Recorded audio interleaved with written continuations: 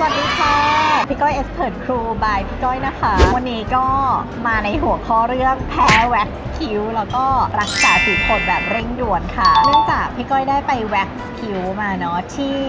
เคาเคาน์เตอร์แบรนด์เคาน์เตอร์หนึ่งซึ่งพี่ก้อยทำบ้างอยู่แล้ว เพื่อรักษาทรงคิ้วเนาะแต่ว่าทีนี้เกิด ข้อผิดพลาดทางเทคนิคคือพี่ก้อยเกิดสิวผดเห่อเยอะมากพอกมากเพราะว่าเป็นคนที่ปกติแล้วไม่ได้เป็นสิวเลย วันนี้ก็อยากจะมาแชร์ประสบการณ์ว่าพี่ก้อยรักษาสิวผดยังไงให้หายอย่างเร่งด่วนภายใน 5 วันนะคะ จุดประสงค์ของการทำคลิปนี้ไม่ได้จะ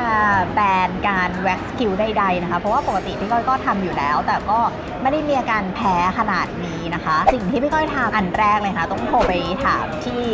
เคาน์เตอร์แบรนด์ที่พี่ก้อยไปแว็กซ์คิ้วมาก่อน โอเค ได้ไปสืบสวนสอบสวนกับน้องพนักงาน สรุปว่า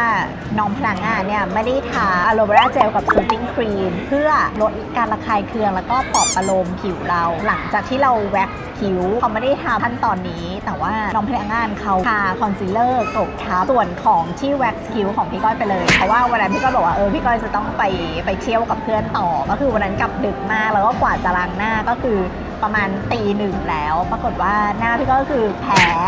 หนักมากวันนั้นเครียดมากร้านขายยาคือปิดหมดแล้ว อีกวันหนึ่งพี่ก็ก็ตื่นมา ปรากฏว่ามีสิวผดขึ้นมาประมาณมากกว่า 30 เม็ดอะคือแบบ ขนลุกอะ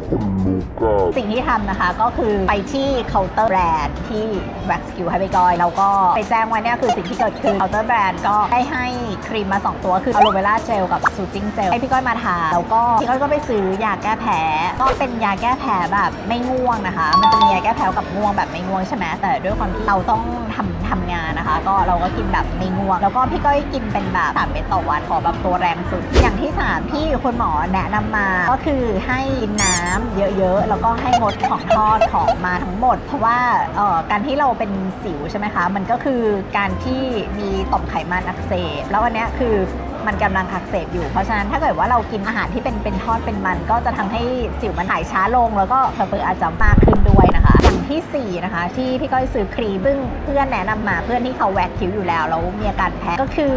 เป็นยาที่ชื่อว่าเมโบนะคะกลิ่นมันจะคล้ายๆ น้ำมันงาหน่อยก็อาจจะแบบกวนใจนิดนึง แต่ว่าทาแล้วก็ได้ผลนะคะ พี่ก็ก็ททำ4อย่างนี้เลยนะคะ เป็นเวลา 5 วันแล้วก็ดีขึ้นอย่างเห็นได้ชัดนะคะ คือพี่ก้อยโชคดีได้แหละ เพราะว่ามีเอ่อพักร้อนพอดีกะจะไปพักร้อนไปเที่ยว 5 วันนะคะ แล้วคือด้วยอาชีพของเราเราต้องแต่งหน้าเยอะในการทำงานใช่ไหมคะก็คือโชคดีมากก็คือหายทันเวลานะคะสี่อย่างนี้เนาะก็อยากให้น้องๆ ถ้าเกิดว่าไปแว็กซ์คิ้วหรือว่าทำคิ้วนะคะ ก็อย่าลืมบอกให้พนักงานเขาอย่าลืมทา aloe vera gel กับ soothing gel เพิ่มเติมเนาะเพราะว่าถ้าเกิดว่าไม่ได้ทาเลยแล้วเป็นคนผิวแพ้ง่ายแบบพี่ก้อยก็อาจจะเกิดผื่นเกิดสิวผดแบบพี่ก้อยได้นะคะโอเค ก็อยากให้ทุกคนมีหน้าใสหน้าสวยไร้สิวเนอะแล้วก็จะได้แบบว่าเออมีความมั่นใจในการไปเจอผู้คนในการทำงานนะคะ ก็หวังว่าคลิปนี้จะเป็นประโยชน์นะคะ แก่หลาย ๆ คน ถ้าเกิดว่าเกิดสิวผื่นแพ้คือหลังจากที่ไปวัสคิวมาก็ไม่ต้องแพนิคเนอะลองเอาที่